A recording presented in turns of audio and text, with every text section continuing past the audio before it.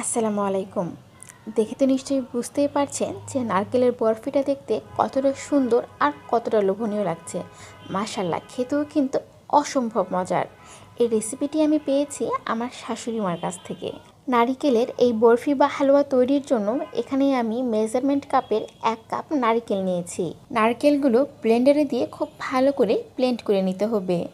যদি আপনাদের হাতের কাছে ব্লেন্ডার না থাকে, তাহলে আপনারা নারকেল কুড়ুনির সাহায্যে নারকেল কুড়ে এরপরে পাটাতে খুব ভালো করে বেটে নেবেন, তাহলেই হবে।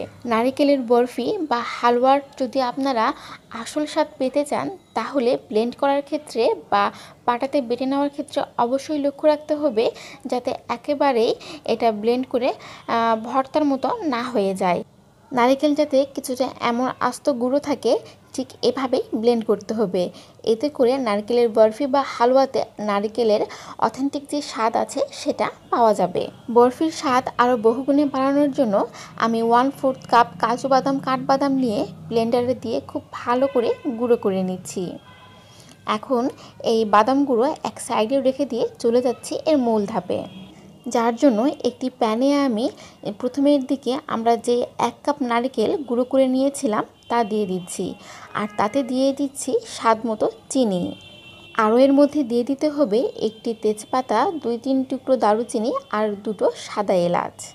এরপরে এর মধ্যে আরও দিয়ে দিচ্ছি পাঁচ কাপ লিকুইড দুধ।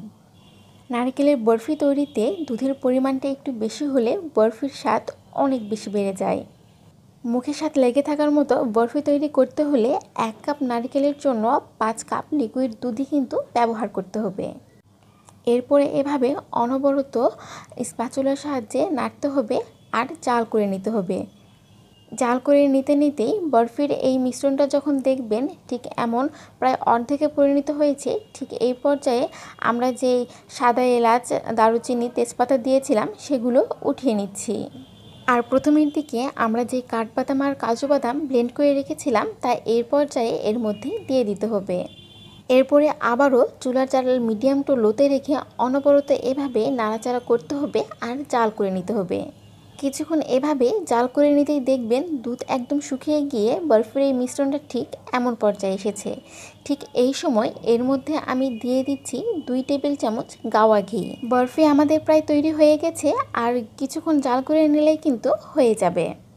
এরপরে এই পর্যায় থেকে স্প্যাচুলার সাহায্যে ঠিক এভাবে চেপে চেপে আরও এক থেকে দুই মিনিটের মতো জাল করে নিতে হবে।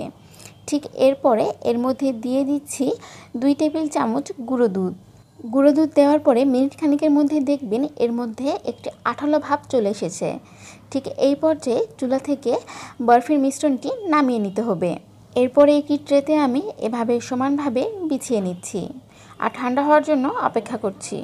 দেন ঠান্ডা হয়ে আসলে আপনাদের মন পছন্দ শেপ অনুযায়ী কেটে পরিবেশন করতে পারবেন। এটা যে কী পরিমাণ মজা হয় তা এই রেসিপিতে একবার আপনারা ট্রাই করলেই বুঝতে পারবেন। এরপরে, এর উপরে আমি কিছু পেস্তা বাদাম কুচে দিয়ে পরিবেশন করে নিচ্ছি। আশা করছি রেসিপিটি আপনাদের ভালো লেগেছে। ভালো লেগে থাকলে ফ্রেন্ডস অ্যান্ড ফ্যামিলির সাথে শেয়ার করতে কিন্তু ভুলবেন না। আর অবশ্যই একবার হলেও বাসায় ট্রাই করবেন। সুস্থ থাকবেন, ভালো থাকবেন। ধন্যবাদ।